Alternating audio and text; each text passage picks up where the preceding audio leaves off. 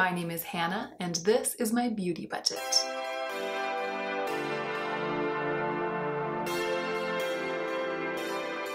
So this is a duping the vibes video, which means I made an eye look on my eyes that I could have made using the Natasha Denona gold palette, but I didn't actually use the gold palette. Instead, I duped its vibes using other eyeshadows in my collection. And I did it to illustrate to you guys that as beautiful as the gold palette is, and as much as I enjoy using it, nobody needs it to get dynamic, textural, blue and gold eye looks.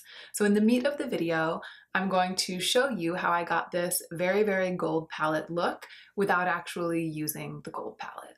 But first, speaking of gold, are you staring at my earrings? Have you already paused the video to leave a comment about these earrings? I am so delighted to be able to say that this video is sponsored by Ana Luisa Jewelry. And this is one of the three pairs of heart-stoppingly beautiful gold earrings that they sent over for me to wear. Ana Luisa is a cool company. They pride themselves on ethical production processes, which I love, and they're also an independent direct-to-consumer brand. So they sell online, no marketers, no middlemen, and that allows them to offer what is essentially luxury jewelry, but without the traditional retail markup. So when I tested out the earrings and I saw the amazing quality of the jewelry and I learned about the ethical infrastructure of the brand, I was so excited that Ana Luisa wanted to work with me. I love all three pairs of earrings that they sent. They are handcrafted, they are modern art inspired, they are gold plated, and apparently Ana Luisa hires jewelry designers who used to work for really big fashion houses like Louis Vuitton, Gucci, which is probably why the designs are so impeccably well balanced. You can really tell the quality of the designs.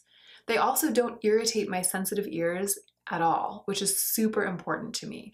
I love all three pairs, but I think the hoops are my favorite. I've been wearing the hoops almost non-stop since they arrived at my studio in their beautiful packaging. I feel like these statement hoops are the perfect balance of editorial and everyday. If you are on a no-buy right now, please remember that nothing is worth breaking your no-buy not even beautiful earrings, not even beautiful earrings from an ethical, independently owned brand. However, whether you're on a no buy or a low buy or a budget, I feel like Ana Luisa is a good brand to know about in general. For example, for me, when it's time to buy birthday presents for my cousins this year, I'm gonna be so much happier buying them from Ana Luisa than I would be buying them from a big box store or from a mega corporation. But I hope that neither one of my cousins is watching this video right now. But Bryn, Mara, if you're watching, check out the Ana Luisa website and tell me what you want for your birthday.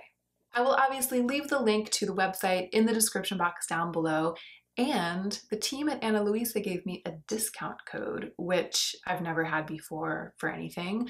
It's not an affiliate code, it's just a discount. You guys know that I never recommend buying something because it is on sale or because you have a code, that's not a good reason to buy something. But if you are in the market for some very, very, very beautiful jewelry and it's in your budget, the code is there and it will knock $10 off of your order. Okay, that's it. Let me know if you have questions about the earrings. I've been wearing all three pairs for several days now and I love them all. Let's go ahead and get into the meat of the video. Hi, okay, let's start. As you can tell, I already have a little bit of product on my face. I'm wearing some concealer to even out my complexion, and I have a little bit of product in my brows. When I'm duping the vibes of a palette, I'm usually looking at the palette online and I'm saying, if I had this palette before me, what would I do first? I actually have the gold palette here before me, so we're going to look into it and I'm going to tell you what I usually do first, which is to reach into one of the mattes. This is when I'm creating like a full eye look. I frequently reach into the bronzy shimmers for a single shadow all over the lid eye look, but we're doing something a bit more complex than that today. So these are the mattes. There are these browns, different tones of sort of mid-tone brown. There's a dark brown, and then there's this mustardy shade. So for today's look, I'm going to say that I would be reaching into that mustard shade. That's the matte that I reach into the most because it's the most unique matte in this palette and I find it inspiring, frankly. I really like this color. I have two matte shadows in my collection that have really similar vibes to this shadow from the Natasha Denona Gold palette, and they're right here in this little palette. Here on this side is a mustardy brown that's from the Morphe 35O palette that I depotted a long time ago. And then here next to it is ColourPop Paper Tiger. So you can see that Paper Tiger, which is this one right here, is more yellow and the one from the Morphe 35O palette is more brown, and then the one from the Natasha Denona palette is kind of in the middle. So I can use these two shadows to really get a close approximation of the vibes of this shadow. When it's buffed out on the lids, this eyeshadow from the Morphe 35O palette is particularly similar in its vibes to the one from the Natasha Denona palette. So I'm going to start with this one and then maybe add a little bit of Paper Tiger in there just to brighten it up. I usually zoom in when I do eye looks, but I'm not going to zoom in today. I feel like this video is more about what I choose to do, which shadows I choose to use, than it is a demonstration of how to create a look. So I'm gonna stay back here. I also want to be holding up shadows and kind of showing you stuff all the time, and I don't wanna be zooming in, zooming out, zooming in, zooming out. So I'm going to show and tell what I'm doing and then kind of zoom through the parts where I'm actually applying the stuff to the eyes.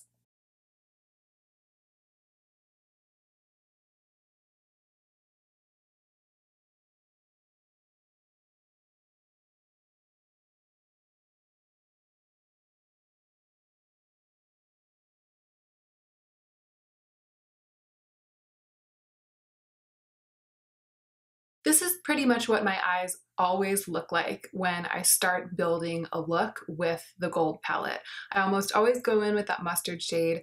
I almost always use the mustard shade layered on top of itself to deepen up the crease a little bit. And that's what I did here. I went in with the slightly more brown Morphe shadow and then I used Paper Tiger to add some mustardy intensity to the crease. And Paper Tiger really does build well on itself. I love ColourPop mattes. ColourPop makes my favorite matte formula, I have to say. So it was a pleasure working with this bright mustardy matte. So when it comes to a lid shade, this palette really shines. There are so many amazing textures in this palette. Two of my favorites are this one up here and then this one down here. I think that it's this one down here that I might reach for next because it's more dense. This one's more of a topper, lime chrome up here that's getting a lot of attention on social media that's more of a topper. But this one here, I think it's the one called Brass.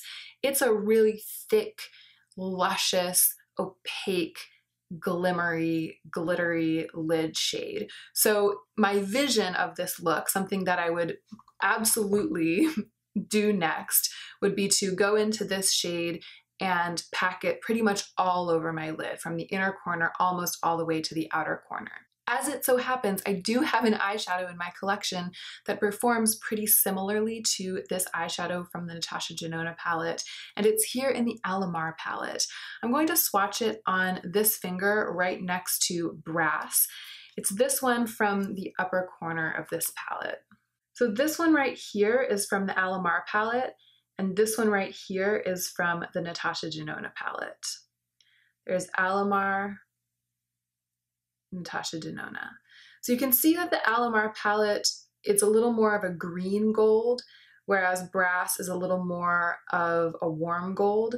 But just in terms of the effect, the intensity, and that kind of gooey, layered, almost flaky quality, they are they are similar. They have similar vibes. And honestly, when it comes to duping the vibes, it's more about finding eyeshadows in your own collection that have the vibes of the palette that you are duping. So even though this eyeshadow isn't an exact dupe for any of the shadows in this palette, it has a strong gold palette vibes, so I think it's the perfect choice for an all over lid shade. I'm going to go ahead and pack it onto both my eyelids with my fingers.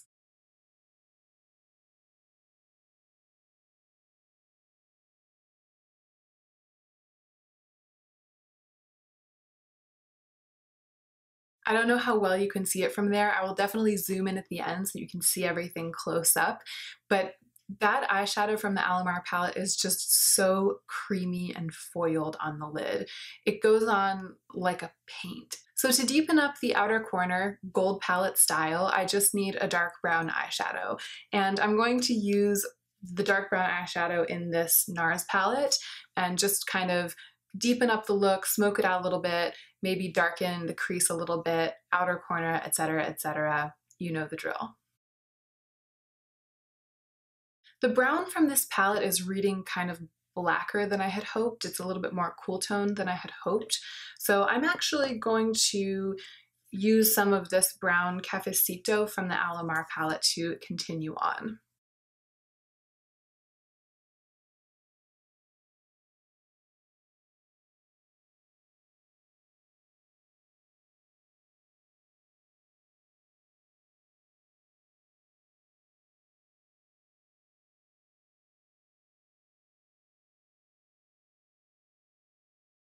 Okay, so there's the look smoked out. I did get some fallout on my cheeks and I brushed it away.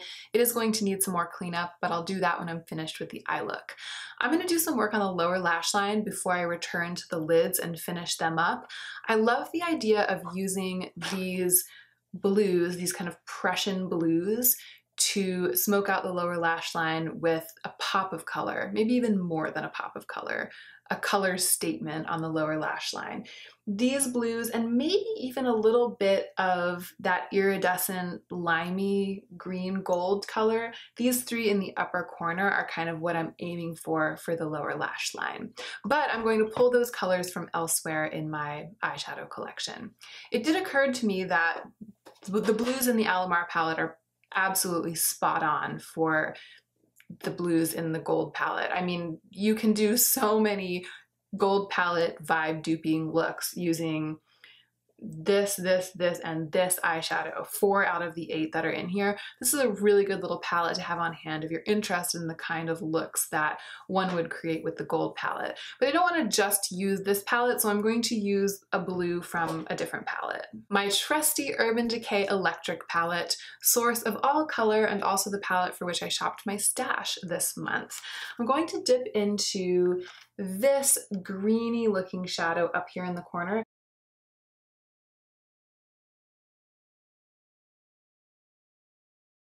So that's a pretty thick, bright, smoked out line of color on the lower lash line. I'm gonna go ahead and dip back into Cafecito from the Alamar palette just to darken it up a bit, make it a little bit more grungy.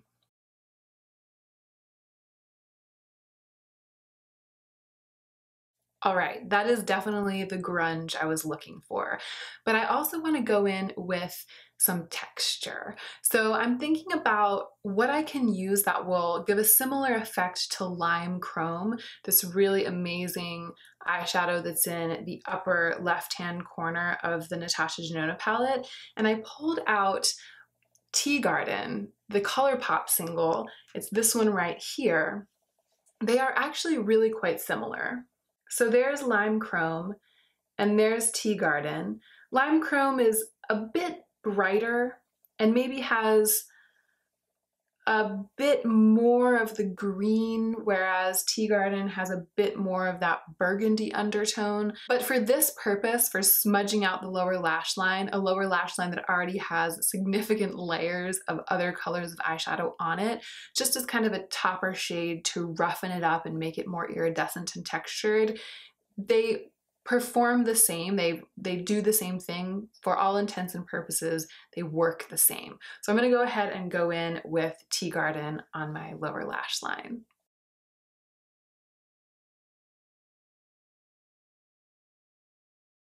So Tea Garden definitely acted as kind of a transformer shade for that rich blue shadow from the Urban Decay Electric palette.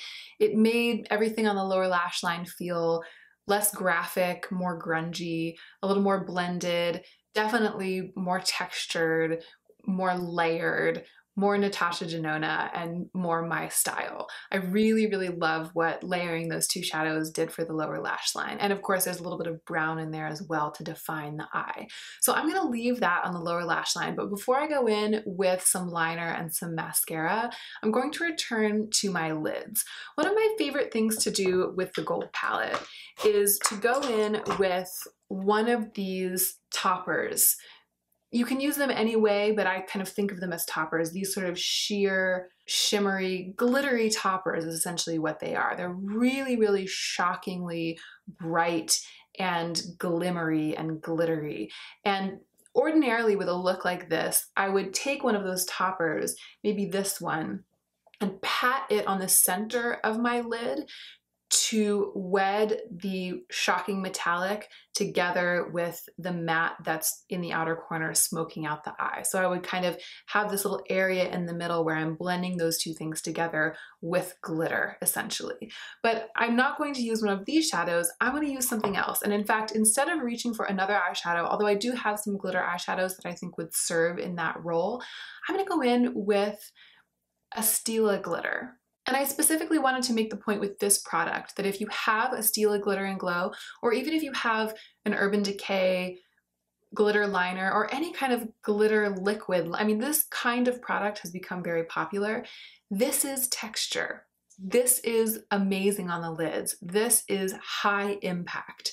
So if you've been drawn into the idea of buying a Natasha Denona palette with the promise of its total uniqueness, because of its textural formulas, just remember you can get texture in other ways. You don't have to buy Natasha Denona eyeshadows to make a look that's exciting and dimensional. So I'm going to make this look more textured and more dimensional by patting some of this from my finger onto the center of my lids the same way that I would do with one of those unique Natasha Denona shadows.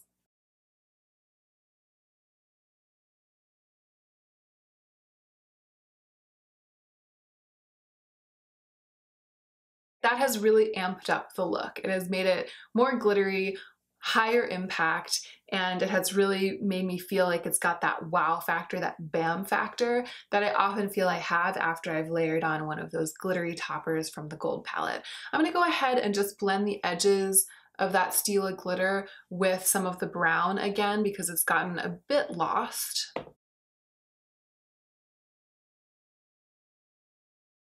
And now I'm gonna go in with some liner on my waterline and a bunch of layers of mascara. I'm gonna do that off camera. I will be right back. All right, there's the look with liner and lashes on. I actually went in with a navy blue eyeliner on my waterline and I love what it did for the look. I feel like it's very, very gold palette. And I went in with a black liner on my tight line and then a bunch of black mascara, lots and lots of layers. I'm gonna go ahead and zoom in so you can see how it looks like this. And then I'm gonna do the rest of my face and that will be it.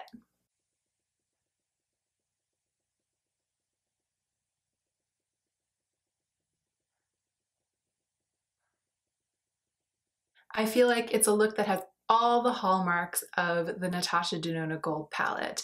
And it's not just the colors, it's also the textures, and it's also the styling, the kind of smeary, grungy, editorial, layered look that I often get when I reach for that palette.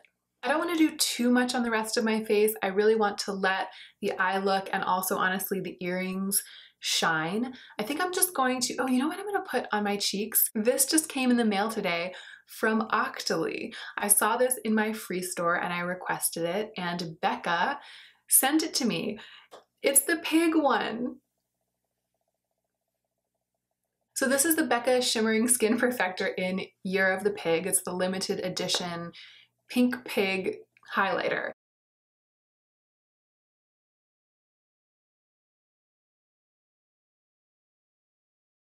Well, that is really interesting. I really like it. But the reason that I like it is that it's giving me a soft glow. It's sort of like a soft candlelight glow that's pearlier than I expected. I have a feeling I'm gonna be reaching for this a lot. I thought that this was going to be kind of my token Becca highlighter that would sit in my drawer and that I would reach for when I really wanted to glow. But I kind of feel like reaching for this as a daily highlighter right now because I feel like it's right in line with my vibes lately. That's so interesting. That's a pleasant surprise.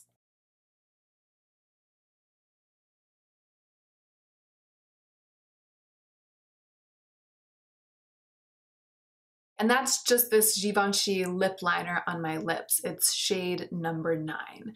So that is the finished look. I don't think I'm gonna go in with any sculpting cheek products or any blush or anything. I think I'm just gonna let the eyes and the earrings and possibly the lips do the talking. I hope this was helpful to some of you out there who maybe have been lusting after the Natasha Denona Gold palette, but unable to buy it either because you are on a no buy or a low buy, or because it's out of your price range. And I hope it was clear from the way that I shot this video that the point is not for you to recreate this look with the eyeshadows that you have.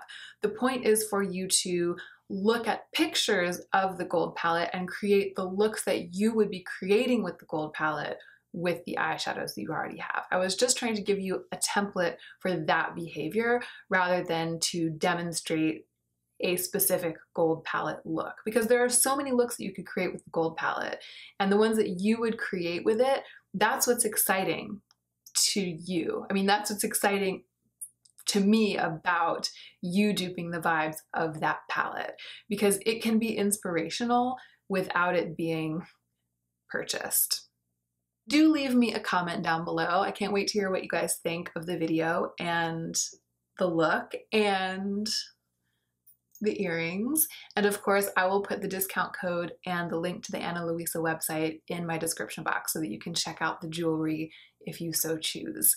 Thank you so much for watching. I hope you enjoyed it, and I hope that you will remember to take extra good care of yourself this week so that you can be the most effective version of yourself as you do your work in the world.